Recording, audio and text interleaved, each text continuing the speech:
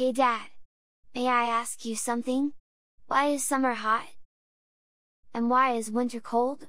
Maybe it's because, the sun is closer to the earth during the summer, isn't it? Good question, Liam. But you're wrong.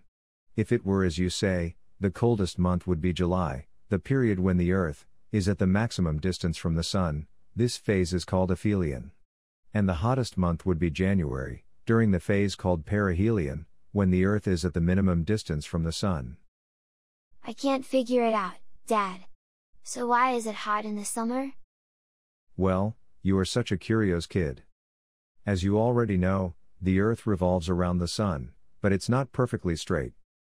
The Earth's axis of rotation is inclined about 23 degrees from the ecliptic, the plane on which our planet orbits. During the winter months, the Sun's rays have a greater angle of incidence. In practice, they hit the Earth at an oblique angle.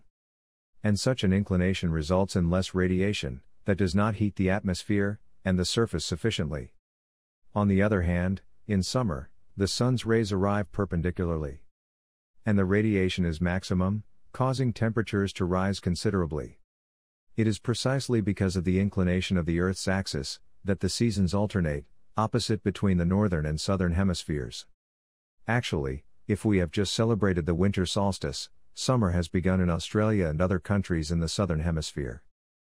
Okay, Dad. So, we could go to the beach in Sydney, in the winter, and Sardinia in the summer. You little rascal. We barely have the money for the pool around here. I know Dad.